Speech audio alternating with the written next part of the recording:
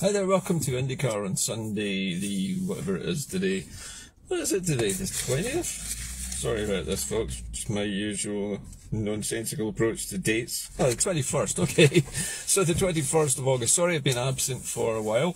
Uh, I had a number of health issues last week and a couple of family issues and events that I needed to attend to out with work time. So sorry if I've not been around for the last few days, but I'm back now with more news. Now, first of all, today, um, Nicola Sturgeon has been quoted quite widely across social media in the last 24 hours saying that um, the United Kingdom looks like it intends to uh, take back centralised control over Scotland if we don't vote for independence. That there is a not just a risk of this happening, but both Liz Truss and Rishi Sunak are talking about Scotland as Sunak characterised it, evolving back into the United Kingdom. Now, if you ever check the definitions of the words devolution and evolution, you'll find that they refer to completely different things.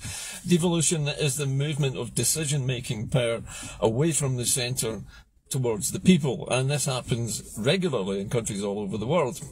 Evolution, on the other hand, if you look at the dictionary definition, says that it is the the change in heritable characteristics um, across a biological population. Now that means people actually evolving uh, and changing over time due to inherited characteristics. Now I would say actually that uh, if Sunak wishes to characterise Scotland as evolving in political terms, then we're evolving away from the Union, not towards it, because to evolve towards the Union would be a regressive step in our characteristics, not a positive one.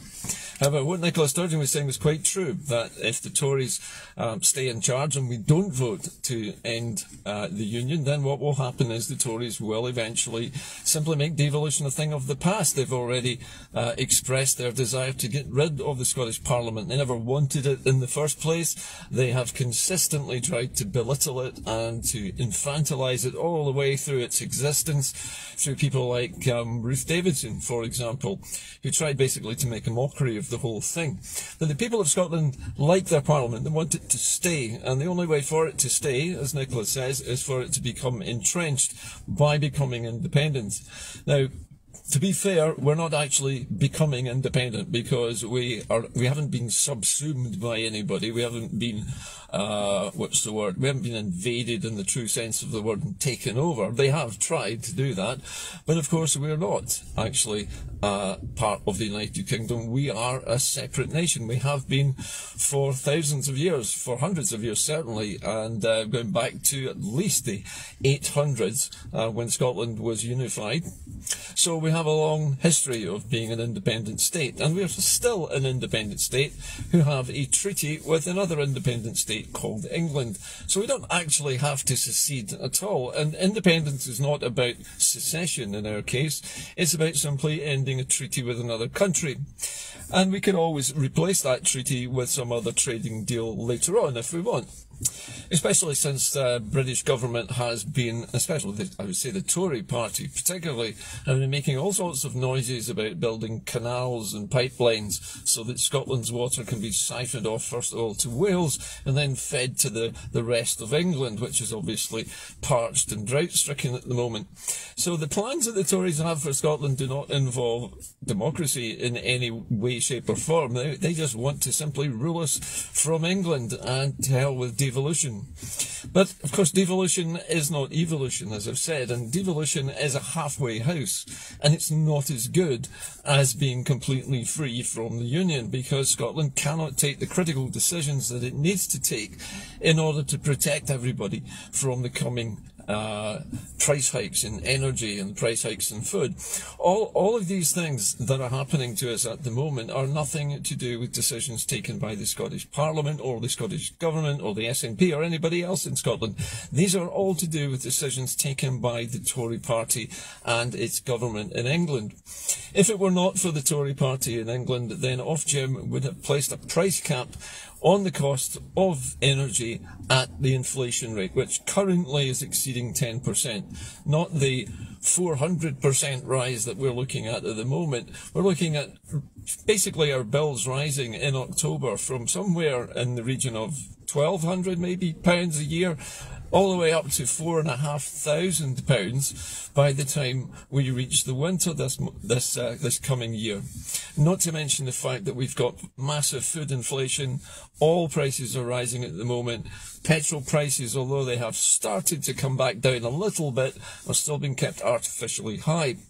So the cost of living is going to be the major driving force behind Scotland's um, drive to rid itself of the toxic union. So of course, this, as I've said, the stakes have never been higher, and of course the um, what's pushing people towards independence now is not so much political uh, activity as economic activity or the lack of it, the lack of money in people's pockets, the rising prices, the rising taxation, the lowering standards of living and the fact that people's wages cannot keep up with these massive price rises. Now, the only way in which Scotland can control its energy prices, and again, Nicola Sturgeon has said this quite explicitly, is to renationalise the utilities in Scotland so that our energy bills are not controlled by some uh, private companies operating in some globalised market. They're actually decided by our government, and they own the energy resources. In other words, the means of production. That means things like our renewable energy arrays, our offshore wind farms, and also our gas supplies. These ought to be under the control of the country, not private companies. But of course, the British government has given it all away. We need to take it back. We can't do that if we are still tied to a UK union which insists on giving away Scotland's natural resources to their buddies in big business. Now, speaking of big business brings me to the next item of news, which I have to be honest had passed me by. There was very little media fanfare, of course, given to this by the British state media. But one of Scotland's two um, satellite launcher companies, the two companies concerned incidentally are Orbex, which are based in Forres, I believe, uh, in Moray, and the other one is uh, Skyrora, who I'm going to talk about today. Now, I'm very much more familiar with Skyrora, having been involved and witnessed some of their testing before, but I can tell you now that Skyrora is inching closer and closer to being the first Scottish company to launch a Scottish-built rocket from a Scottish launch site into orbit with the um, the successful firing of the second stage engines from their uh, Skylark XL rocket. Now, this was performed recently at Machrihanish, which has now been opened as a space centre called Discover I think it's called Discover Space. And of course, Machrihanish is an ideal place for doing things like dangerous rocket testing because there are not too many people around and there is an airfield there and it's an ex-Ministry of Defence and also an ex, uh, I think it's an ex-United uh, States airbase as well at one time from World War II. So it's a terrific place to fire these rockets. Now, Skyrora has already uh, test fired the main engines of their rocket. They've also test fired the third stage engine of their rocket, which I witnessed myself several years ago. This is the last piece in the jigsaw puzzle of test firings before this rocket is launched. Now, I understand they've also um, applied to the Civil Aviation Authority for a launch license, which means they're getting closer and closer to being ready to fire this rocket and to send a test payload into Earth orbit. So this is an historic moment. But not only that, but Skyrora has now just opened in July the very first rocket factory in the central belt of Scotland. And they've opened their offices and a rocket factory in Cumbernauld. Almost an ideal place, really, for such an, uh, a fantastic new venture. Skyrora is uh, I would say it's an international uh, company because it is part Scottish and part Ukrainian, which is a kind of odd mix. But the founding, uh, the, the, CEO of Skyrora, uh, Volodymyr, he, he actually is Ukrainian. And some of the components for Skyrora's rockets are made in Ukraine. And some of the rest of the components are made here in Scotland. And the rockets are assembled here and will be launched here. So it's interesting that two countries, both being um, struggling with larger, uh, more aggressive neighbours, shall we say, have got together and decided that they're going to create a new space programme.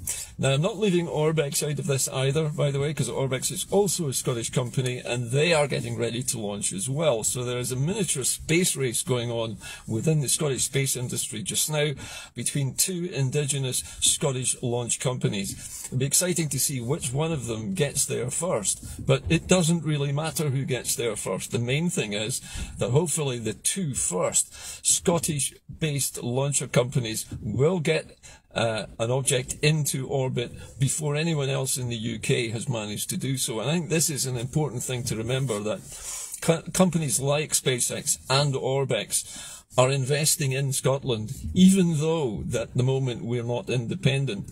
But I know for a fact that when we do become independent, companies like Orbex and like Skyrora will be getting a lot more funding from the Scottish Government to expand the space industry and to expand space operations around the north coast of Scotland. There are three or perhaps even four potential launch sites around the Scottish coastlines and islands, particularly in places like Shetland, Orkney, Sutherland, and also on the west coast of Scotland as well. So there is a lot to be done in Scotland, and it's all good news. And most of us didn't know anything about this because the BBC doesn't want to tell you anything about this good news, and so it never really appeared anywhere.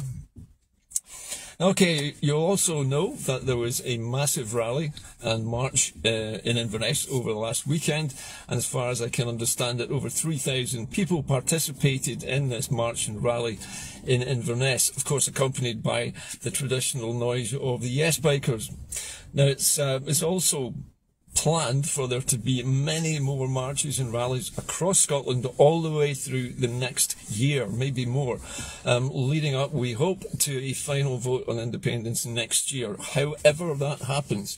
And it's very important for the people who support independence to make their presence felt, especially when the media is running a complete blackout on news of anything to do with independence. The only way to get our message out there is to actually be out on the streets and showing the rest of the Scottish people that there is massive support for this. If you cannot have control over your media, the only way that you can communicate the message to people is directly. Now, yes, we have well, I suppose people like myself who are broadcasting on social media, and that is very important. But I can only give you news and information as I get it. But what's more important is for you to get out there on the streets and talk to people, talk to your neighbours. Tell them about what is going on in Scotland. Tell them about what good things are coming uh, up in Scotland and why it's very important that this time, when they get the chance to vote on independence, they vote for it because at the moment, the biggest risk to Scotland's economy is not from becoming independent, it's from staying in the UK. And we all know that Sunak and Truss are going to basically uh, dissolve devolution completely and get rid of the Scottish Parliament entirely so that we never have a chance to vote on this ever again.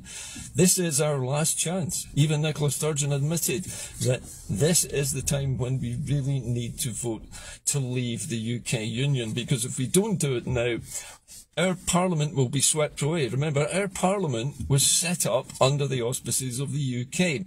Okay, it was done reluctantly, grudgingly, because we were in the, EU. But now that we're not in the EU, they'll be quite happy to bulldoze Holyrood completely, and it will just become a distant memory. So this is the last chance we're going to get to do this.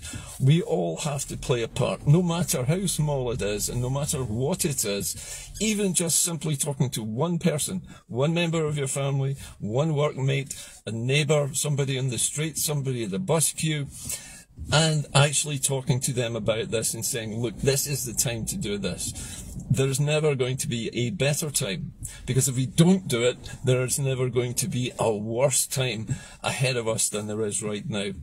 It's time to escape. It's time to take back control of all of our resources to renationalise those utilities so that we never again are faced with the extortion that is being visited upon us by a predatory international consortium of energy providers, because that is the problem.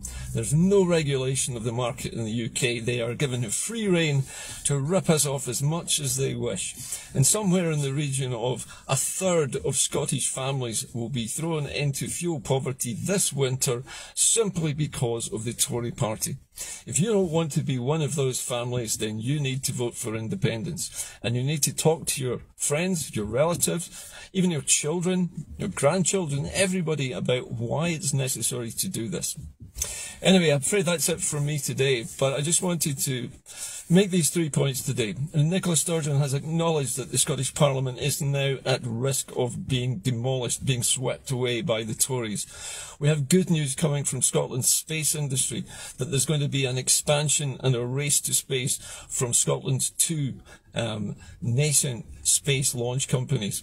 And at the end of this, we still have the hope that there will be an independence referendum and that the people of Scotland, as they have done in Inverness, will come out in their thousands. Now, Inverness was a modest sized march. It is a bit of a distance for people to go to get to Inverness, but the fact that it has happened and thousands of people turned up give us all hope that the next time we have independence marches in Glasgow or Edinburgh, that there will be hundreds of thousands of people. Do you remember the times when we had marches in Glasgow where we had 100,000 or 150,000 people, 200,000 people? These days need to come back and we need to increase those numbers. And only you, that's you out there who's sitting watching this, can do that. So sign up and get along to the marches. Let's swell the numbers and make sure the people on the streets that we see and who see us marching know that this is going to happen and that it's not a myth and that just because the British media doesn't tell them about it does not mean it's not happening. I'll see you soon. Have a great weekend, what remains of it, and I'll see you tomorrow. Bye bye for now.